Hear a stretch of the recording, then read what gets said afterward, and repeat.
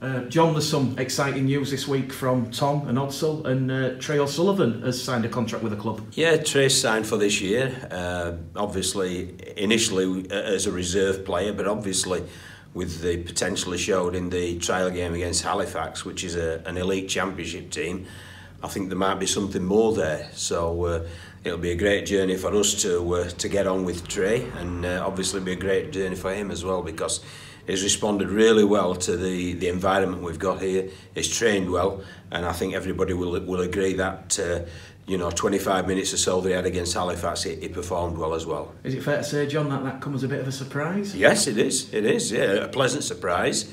Uh, but he, he was really bought into what we're trying to do, and I think he's elevated uh, his, his, his levels of intensity and focus to what we, we expect here, and that's the reward, so it's good. And obviously, um, he must be over the moon when you consider the adversity at Halifax. He's come and trained with the Bradford Bulls, and now he's, he's signed a contract. Yeah, I, th- I think he'll be delighted with it, and uh, you know, he's, he's he's, an outstanding kid, to tell the truth, and he's a very strong kid, and he's a very big kid. So if you're strong and you're big and you've got a good attitude, uh, you're halfway there, aren't you? So it's a matter of us, us now knocking the rough edges off and just honing those that skill level and his decision making, and uh, you know, with half a chance with him. And it's also a welcome boost considering the current injuries to Steve Crossley and, and Ross Peltier. Yeah, but I mean, Steve's going to be Steve's itching. Uh, I mean, we trained uh, last Tuesday on on the uh, 4G at Bradford Academy, and I had to I had to sort of have a word with Steve to pull back because uh, he was ready to get stuck in and get amongst it. And really, we, we need to manage him so that he comes back at the appropriate time because Steve's very important to us. And when he gets back, we want him back for the full season. So uh, we're, we're at the minute we've got him on tight reins. Uh, but I'm looking forward to when we release those reins and we can see him back on the field of play. Is he an estimated uh, date of recovery for Steve Crossley? Steve, Steve's telling us that he's going to play against Toronto, uh, and I see no reason to, to disbelieve that. Uh, the medical team are, you know, a little more cautious, I would say. So, uh, but I'm expecting 20 minutes or so against Toronto, and then obviously that puts his hand up then to, to lead his team out uh, in the first game of the season against Featherstone.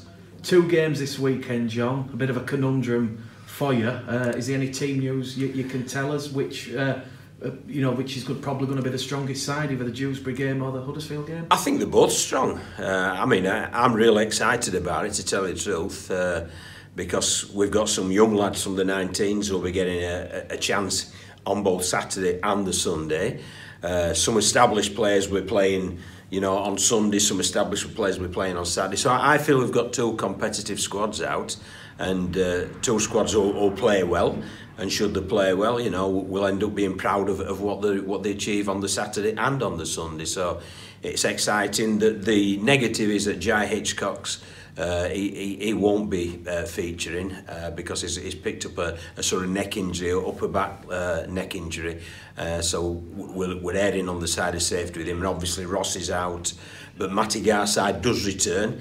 So he'll feature on the Sunday. So uh, yeah, it's, it's we're looking okay, but it'll be good to see everybody who's fit actually get a run out, and it'll be great to see some of these young kids as well, because we might get a surprise or two like we've already had with Alex Stevenson and how well Josh Ricketts has performed already. It goes without saying, John. Obviously, two games, two opportunities to impress you. It is a big squad and that competition for places is going to ensure that everyone is at 100% playing at the very best. Exactly. Well, just look at the halfbacks. You know, on one day we're turning out Rowan Milnes and Joe Keyes. On the other day we're turning out Jordan Lilley and Dane Chisholm. Well, I would suggest they're both good pairs of halfbacks. And you can replicate that at hooker, you can replicate that at uh, centre, you can replicate that at fullback. So it's, it's a real good position that we're in but we'll get even stronger and we'll get better when we understand each other more and when the players have built the combination solidly. But it's just exciting. Uh, it really is, Mick. It's very, very exciting. And yeah, I've enjoyed up to now the pre-season. But as we're getting near February the 3rd, it's, you know, the, the butterflies are just starting and the excitement levels are just building. So it, it, I, I'm just can't wait for the season to get underway. It's a Yorkshire Cup semi-final at Odsal on Saturday against Dewsbury. It's going to be another uh, high quality intense game against fellow championship opponents. Exactly right. I mean, we, we all went as a coaching staff and we watched both York and Hunslet Parkside, but we, we also had a look at Dewsbury and Featherstone because obviously you try to gain as much as you can information about your opposition. And, uh, you know, Dewsbury were good, they were tough, Uh, they were well organised, they were well disciplined, and they took some breaking down, and they caused a problem or two with the ball in hand, so they were good. So we're fully aware of what they'll, they'll bring to us.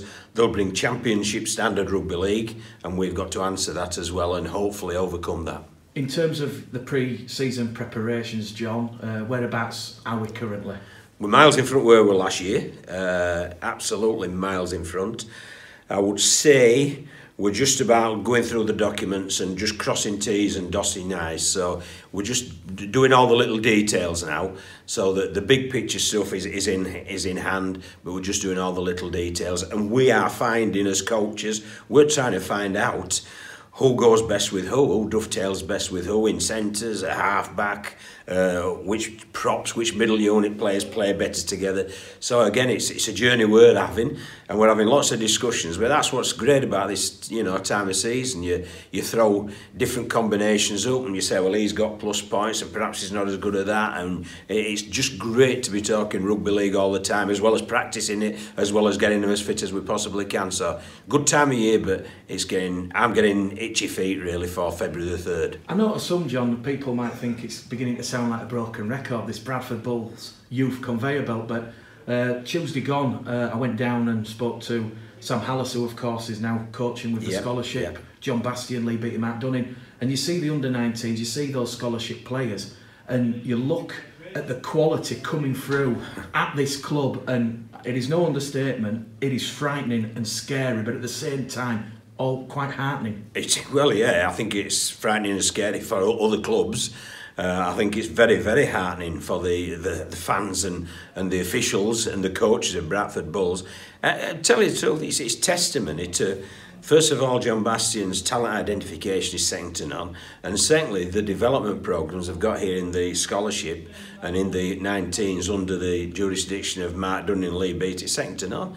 So we're at ease. We, we put lots of work into it, but you reap the rewards of that work, and I agree with you totally, Mick, that you know, there's some kids who are going to be first year academy this year, uh, and I aren't going to name them because I don't want to put any uh, any pressure on them. But with a three quarter and a half back, oh, I'll tell you, we really do need to get excited about because they can play.